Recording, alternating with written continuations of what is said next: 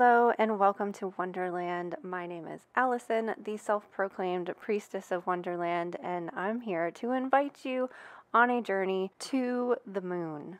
We love the moon here in Wonderland, and we are calling all moon pirates to come along on this Follow the Moon challenge. Today is day 28, and we have a waning crescent Capricorn moon. We talked in more detail about Capricorn qualities and energy yesterday, so you might want to go check out that video for more details about Capricorn energy. But today I want to focus on the fact that it is a cardinal sign.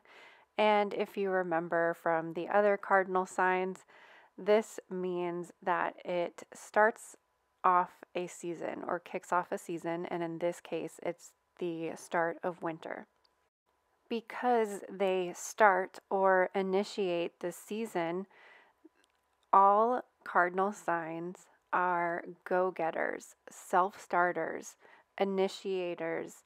Uh, they're usually go, go, go, uh, workaholics, uh, can do attitude, problem solvers, but they usually have trouble or difficulty slowing down winding down or just taking care of themselves in general and have to be careful about burning out.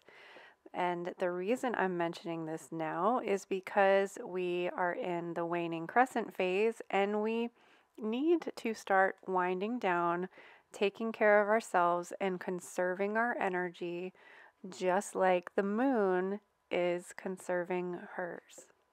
In the book, The Astrological Guide to Self Care by Constance Stellas is uh, an interesting read. It goes into very detailed information on recommendations for how to go about self care for your particular sign.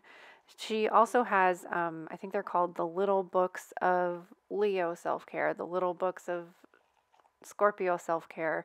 And um, so there's like 12 separate little books that are just one particular sign.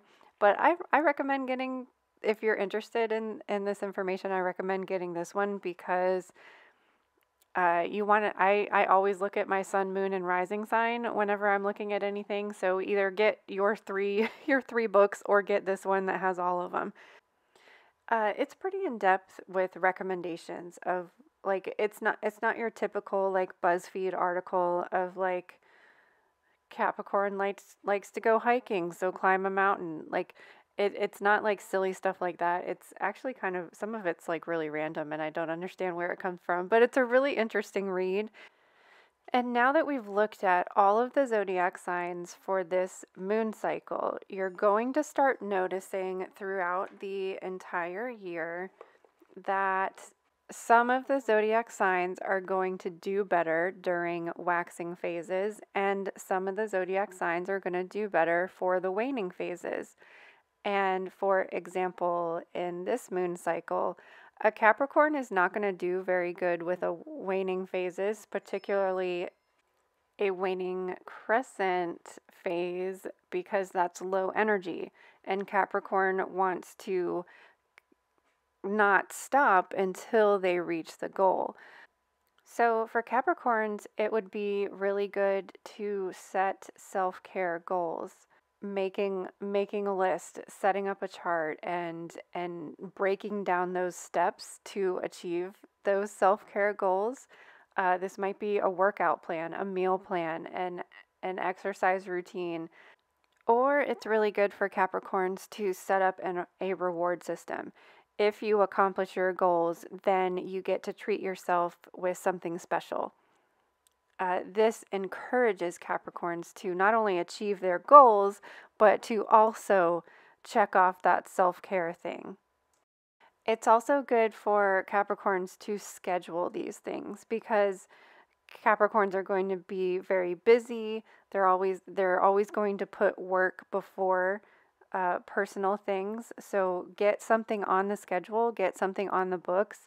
And so it helps if this is, in, for example, booking a massage, setting an appointment so that you hold yourself accountable by not canceling that appointment.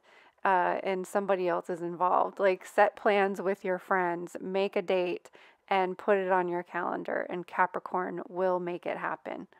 And I would say that out of all of the zodiac signs, it's the it's the cardinal signs that might struggle the most with self-care and the waning moon phases. Aries is going to be the one that really needs to be careful about burning out because they are just going to go, go, go, go, go, and they don't know when to stop. Um, and they're also need to be wary about finishing things. So again, it might be good for them to schedule things so that they have a stopping point or a break point, um, setting little breaks throughout the day uh, so that you are actually taking a break.